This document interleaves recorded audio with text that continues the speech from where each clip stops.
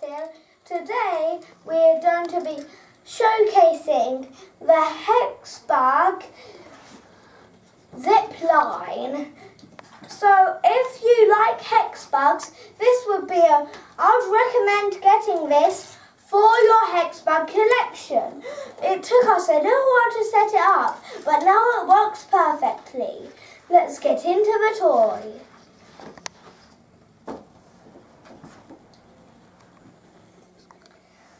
Now, see how it goes. So when it goes up here, it will go down this zip line this little thing on top of it. Sadly, it only comes with one Hexbug. I wish it would come with two though.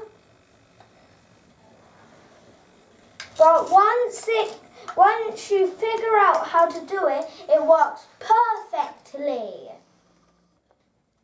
Jay Fans, peace out. But before you go, give me all them likes and thumbs ups. Jay Fan.